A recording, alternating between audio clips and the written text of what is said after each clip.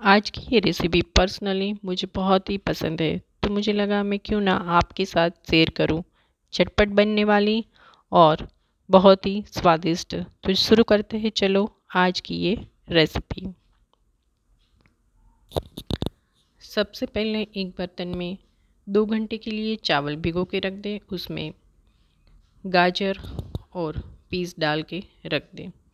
उसके बाद उसको गैस पर उबलने के लिए रख दें आप देख सकते हैं, हमारा चावल रेडी हो गया है। अब हम चलते हैं कढ़ाई की तरफ़। दो चम्मच तेल गरम करने के लिए रख दीजिए। अब हम इसमें डालेंगे खड़े मसाले। पत्थर का फूल, बड़ी इलायची, छोटी इलायची, लाल मिर्ची तेज़पत्ता दालचीनी और स्टार फूल अब हम डालेंगे साह जीरा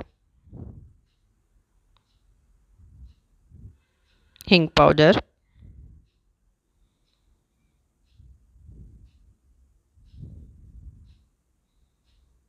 प्याज।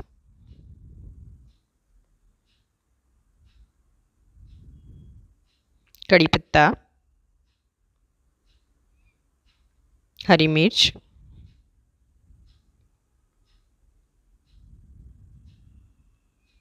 तोंडली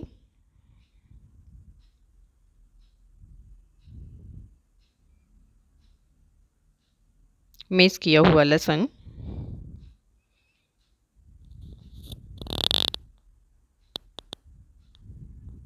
अदरक का पेस्ट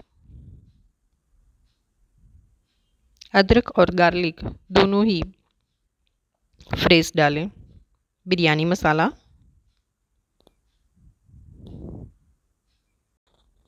अब डालिए बारीक कटी हुई शिमला मिर्च, धनिया जीरा पाउडर,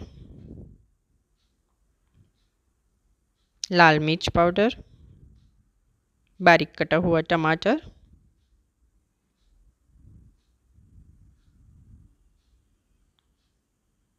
स्वाद अनुसार नमक,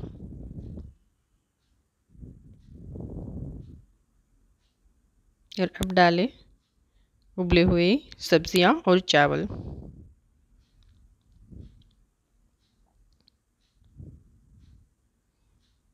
और अच्छे से मिक्स कर लें। आप देख सकते हो 10 मिनट में अपनी बिरयानी तैयार हो गई और उसका लुप्त उठाए